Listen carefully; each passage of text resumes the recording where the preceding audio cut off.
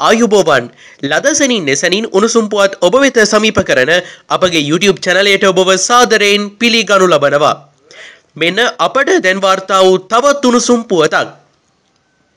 පවතින ඉන්ධන අර්බුදය හේතුවෙන් එළවලු කරවල සහ මාළු ඇතුරු අත්‍යවශ්‍ය ආහාර ද්‍රව්‍ය රැසක මිල ගණන් පාරිභෝගිකයින්ට දරාගත නොහැකි අයුරින් විශාල වශයෙන් ඉහළ ගොස් තිබේ.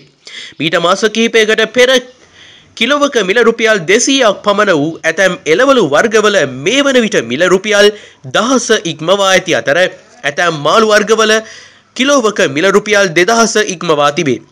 මෙම දරාගත නොහැකි මිල ගණන් හේතුවෙන් එළවලු අලවිය සියයට පණහකටත් වැඩි ප්‍රමාණයකින් පහත වැටි ඇති බව සීම සහිත සමස්ත ලංකා විශේෂ ආර්ථික මධ්‍යස්ථාන හා මැනින් වෙළඳපොළ සංගමේ සභාපති අරුණ ශාන්ත හෙටියාරච්චි මහතා පැවසීය.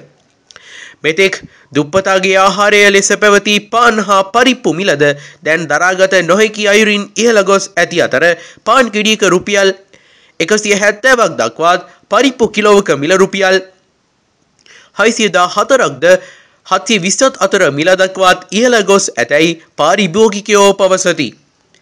මෙවැනි උණුසුම් පුවත් ලද සැනින් එසනින් දැනගැනීමට අපගේ YouTube චනලය සබස්ක්‍රයිබ් කොට සීනෝ බොත්තම ක්‍රියාත්මක කරන්න.